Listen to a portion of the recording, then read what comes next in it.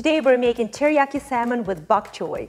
I'm Julia from Vikalinka.com and welcome back to my kitchen. Don't forget to subscribe to our channel for reliable recipes you can use every day. This is such a great and easy recipe. You're cooking teriyaki salmon with bok choy all in one pan and then just serve over rice and your dinner is ready.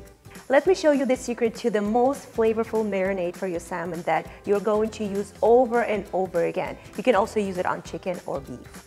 I love cooking my salmon with bok choy, but you can obviously replace bok choy with any vegetables that you like. Just make sure that it's similar in texture and will take the same amount of time.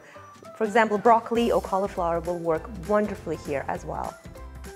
In a small bowl, mix the teriyaki sauce, soy sauce, mirin, ginger, and garlic.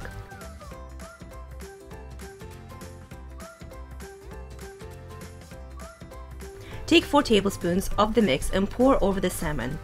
Let it marinate for 30 minutes in the refrigerator. Keep the reserved marinade for the bok choy and the glaze. Meanwhile, cut the bok choy in half or quarter them if you're using the big ones.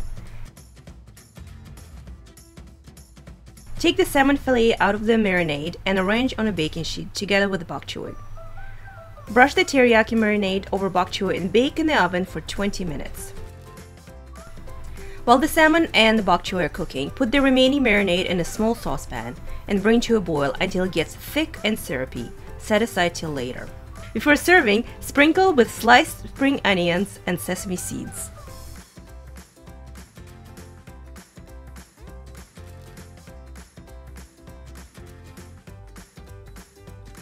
Like I mentioned, this salmon goes so well with white rice, but if you're trying to go low carb and you're not eating rice, so you can use cauliflower rice or any other vegetable rice that you prefer.